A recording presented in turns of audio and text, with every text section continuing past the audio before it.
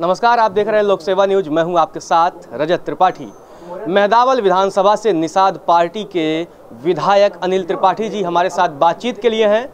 वहाँ चुनाव काफ़ी रोमांचक रहा, समाजवादी पार्टी से जयचंद तो बसपा से ताबिश खान थे। शुरुआती जो रुझान आ रहे थे, उस समय लग रहा था, अनिल जी थोड़ा पीछे चल रहे थे। शुरू में तो बसपा ने लीड की, फिर थोड़ा सा हल्का सा जयचंद ने लीड किया। लेकिन बाद में जब आपने लीड ऐसा किया कि आपने सबको जो है शिकस्त दे दी ये जीत को आप कैसे देखते हैं? ये जीत हमारे क्षेत्र की जनता की जीत है और निश्चित रूप से इस बार जो माहौल रहा विधानसभा चुनाव में वो मेहदावल विधानसभा में आ, हर परिवार से लोग खड़े हुए और लोगों ने चुनाव लड़ा क्योंकि बहुत कम समय मिला था मुश्किल से पंद्रह दिन। और मेरा चुनाव चिन्ह भी एकदम नया था।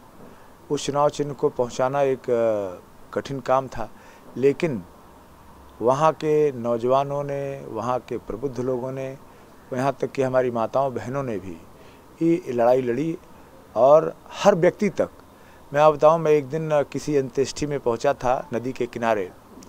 वहाँ पे चार छः लोग बैठे थे और जब मैं पास से गुजर रहा था तो एक सात आठ साल का बच्चा था।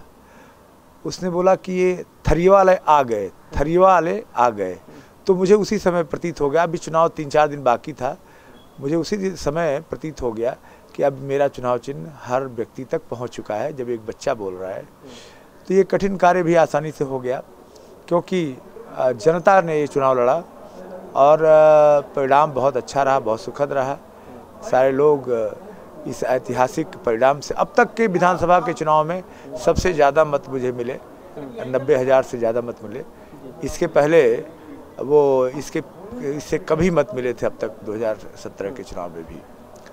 तो ये मेरे लिए बहुत ही ऐतिहासिक चुनाव रहा, ऐतिहासिक विजय हुई।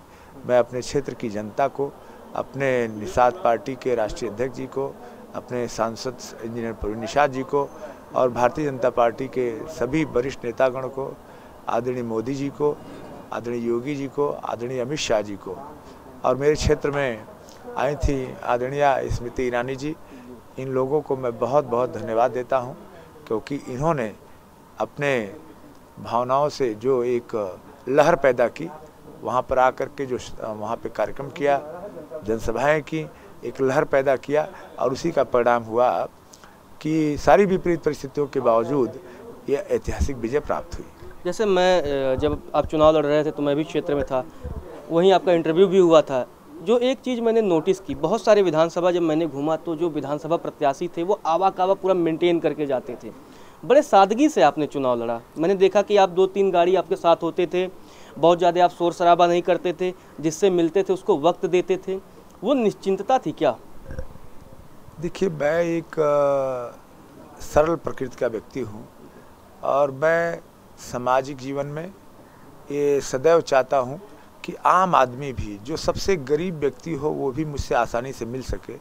और इसीलिए मैंने कभी भी इस तरह के जो आपने आबा काबा कहा इस तरह की चीज़ों को कभी मैंने अपने नज़दीक नहीं आने दिया। क्योंकि मेरा मकसद है मैं समाज सेवा में हूँ तो मेरा मकसद है कि हर आम आदमी हर व्यक्ति वो कितना भी गरीब क्यों ना हो वो मुझ तक आसानी से पहुँचने में कोई हिचक ना करे। इसलिए मैं ऐसी चीज़ों से परहेज करता हूँ। और ये मेरे खून में है। हम लोग कभी भी चूँकि मैं ऐसे समाज से भी हूँ, जो इसका काम ही है सारे समाज के लिए, हर व्यक्ति के लिए कल्याण का काम करना तो ये मेरी प्रकृति है। और इसीलिए मैं कभी भी, और निश्चिंता इसलिए कि मुझे अपने क्षेत्र की जनता पर भरोसा था।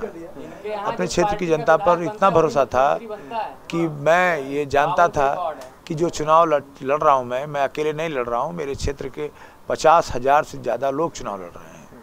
हर मतदाता चुनाव लड़ रहा था इसलिए मैं बहुत निश्चिंत था बहुत ही आनंदित था किसी प्रकार की चिंता नहीं थी। अब आप पाँच साल विधायक रहेंगे क्या प्राथमिकता क्या होगी? देखिए मैंने तय किया है कि किसी भी व्यक्ति को कोई नुकसान किसी प्रकार की हानि नहीं पहुंचाई जाएगी। मेरे सबसे करीबी लोग भी अगर चाहें तो एक नहीं सैकड़ों लोगों का सहयोग सेवा करा सकते हैं मुझसे।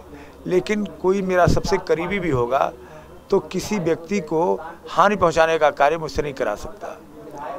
और मेरा ये लक्ष्य है कि उस विधानसभा क्षेत्र में, रोज़गार के मामले में, चिकित्सा के मामले में, शिक्षा के मामले में, विकास के मामले में, जो भी कहीं कमियाँ हैं, उनको दूर करने के लिए काम किया जाए। और इसके लिए मुझे अपने पार्टी की तरफ़ से भी और जो प्रदेश में सरकार बन रही, भारतीय जनता पार्टी की सरकार, उस सरकार से भी मैं बार बार आग्रही रहूँगा कि वो हमारे क्षेत्र में, क्योंकि अभी पचहत्तर साल हो गए, पचहत्तर साल से ज़्यादा हो गए देश को आज़ाद हुए।